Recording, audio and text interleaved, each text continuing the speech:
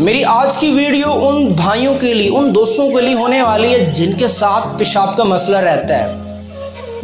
जिनको रात को बार बार पेशाब आता है, या वो भाई जो नमाज़ पढ़ रहे होते हैं, लेकिन उनको पेशाब के कतरे आ रहे होते हैं। या वो बच्चे जो रात को सोते हैं, लेकिन उनका बिस्तर पर ही पेशाब निकल जाता है। तो ये मेडिसिन उनके लिए बहुत ही स्पेशल होने वाली है।